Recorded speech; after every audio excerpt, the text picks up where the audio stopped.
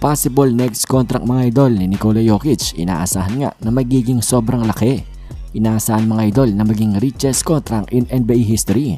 Magiging mas malaki pa nga ito mga idol kesa sa kontrata ni Giannis Antetokounmpo dahil available nga na i-offer ng Denver Nuggets mga idol kay Jokic ang 5-year 254 million US dollars. After nga yun mga idol ng isa na namang historic season niya kung saan nag-average siya ng 27.1 points per game, 13.8 rebounds and almost 8 assists per game. At sinabi na rin mismo mga idol ni Nikola Jokic na kapag inofferan niya daw siya ng Denver Nuggets ng contract extension, hindi niya daw ito tatanggihan at tatanggapin niya ito. Yan nga mga idol ang good news kay Nikola Jokic at pati na rin sa Denver Nuggets. Next balita naman tayo mga idol, Austin Reeves nag-sign na nga ng deal. Hindi yan sa Lakers mga idol kung hindi sa isang Chinese brand na sapatos.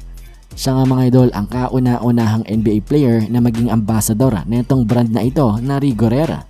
At expected nga rin mga idol na kanya nang suotin ang kanilang latest basketball shoe na War Ender 1.0.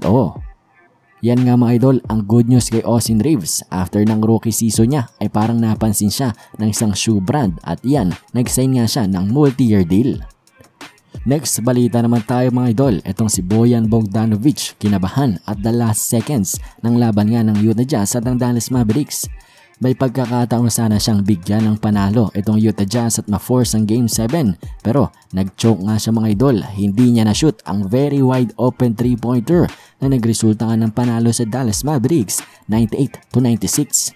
Si Boyan Bogdanovic 19 points ang idinala, Donovan Mitchell 23 points naman. Para naman sa team ng Dallas Mavericks mga idol, ang duo nila Luka Doncic at Jalen Brunson ay may tig 24 points naman sa laban nito. Pero si Luka ay merong 9 rebounds, 8 assists, 2 steal at 2 block. First time since 2011 ng Dallas Mavericks na manalo ng isang playoff series. At ngayon nga ay kaharapin nila ang team ng Phoenix Suns nakakapanalo lang din ngayong araw against sa New Orleans Pelicans. At yan nga mga idol ang ating mga balitang NBA ngayon. Maraming salamat sa inyong panonood. Bye!